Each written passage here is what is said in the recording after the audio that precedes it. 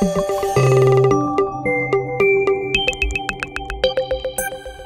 Se ha consolidado también la planta docente en cuanto a temas de investigación. Los temas de investigación que se realizan, las investigaciones que realizan los mismos estudiantes, la, la conformación ya de cuerpos académicos que analizan la situación eh, actual, la problemática del turismo en la región y en el país.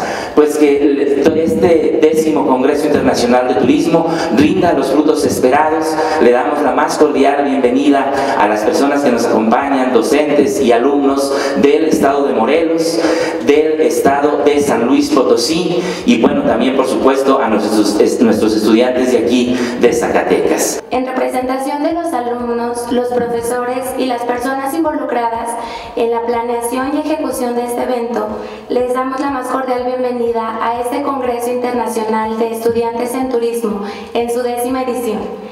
Les queremos agradecer por su presencia, pues sin ustedes este congreso no podría ser posible.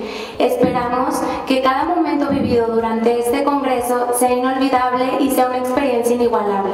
Así también los invitamos a que disfruten cada conferencia, cada evento y cada actividad que está perfectamente diseñada para ustedes.